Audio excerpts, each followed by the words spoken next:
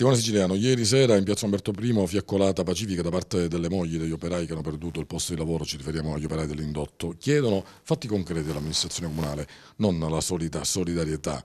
Come risponde l'amministrazione comunale? Rispondiamo con delle azioni concrete, così come i fatti concreti che chiedono le donne, ma come tutta la città gelese, eh, a gran voce. Il 2017 sarà un anno in cui diversi cantieri verranno avviati in città grazie ai fondi del Patto per il Sud. Uh, ricordo che ci sono 30 progetti che sono stati avviati alla Regione per uh, portarli in gara.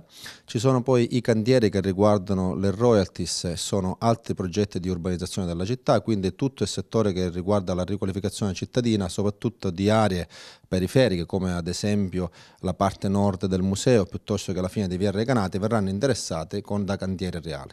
Dall'altro ci sono i fondi dell'agenda urbana, siamo stati selezionati assieme al Comune di Vittoria per un totale di 40 milioni di euro per progetti che hanno ricaduta a carattere prevalentemente sociale, quindi eh, per il comparto anziano, per eh, diciamo, eh, le categorie più svantaggiate, per un miglioramento della pubblica amministrazione, quindi dei servizi che la pubblica amministrazione può dare alla città e per tutto quello che riguarda il ripristino uh, di aree uh, con gravi problemi sismici.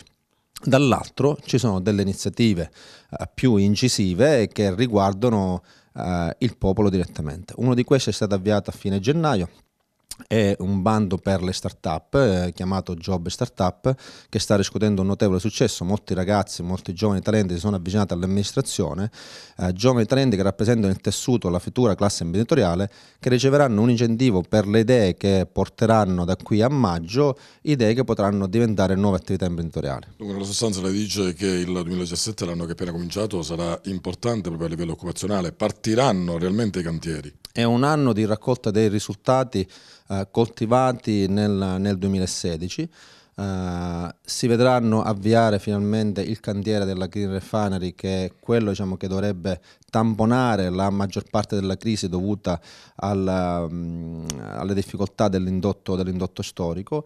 E a questo si concateneranno tutta una serie di iniziative come vi ho già elencato di riqualificazione urbana e di aiuti diretti uh, per uh, i comparti diciamo, più in difficoltà quale ad esempio il settore agricolo soprattutto per quello che riguarda anche lì la giovane imprenditoria, la sperimentazione di nuove colture, soprattutto con eh, diciamo, a carattere industriale. Però finora, Simone Siciliano, abbiamo ascoltato fiumi di parole, fatti concreti al momento attuale però non ce ne sono.